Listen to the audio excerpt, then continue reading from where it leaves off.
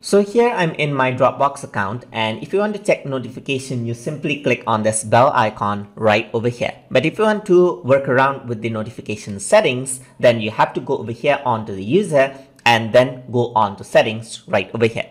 Once you go to settings, you can see that notification is a tab right over there. So you can just click on this and here are different features you can turn on and off for the notification. So you can see that here it says alerts. So if you're running out of space, you'll be sent an email right over here. If you delete a large number of files, you'll be sent an email. A new browser used to sign in, uh, notification will come. New devices is linked notification and a new app is connected notification will be there. You can uncheck this out and the notification for certain things will be disabled. So if you think that you're getting too much notification regarding something uh, from Dropbox, then you might want to turn this off right over here.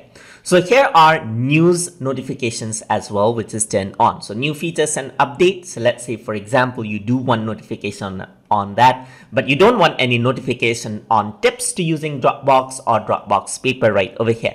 Dropbox feedback surveys, let's say you don't want notification because it is having too much of your content right over here. So you can simply turn it on and off as well. There's activities. So there's activities in shared folder, weekly digest. So this is handy to have on what changes have been made. And um, in Dropbox paper, you'll be emailed about drop, mm, doc activity for, uh, for example, what happened on a weekly basis.